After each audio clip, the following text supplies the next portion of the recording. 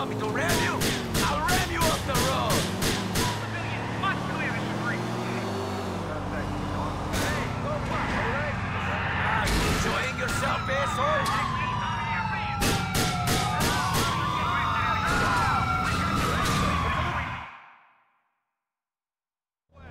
You got me! You got me, okay? Why have you not paid Vlad the money you owe him? I'm going to. I've just been having the trouble getting it together. Vlad is impatient man. You will be getting the money to him soon, or your wife shall be using your washing machines to get blood out of your clothes. Do you understand? I do not ask twice for a favor. I understand.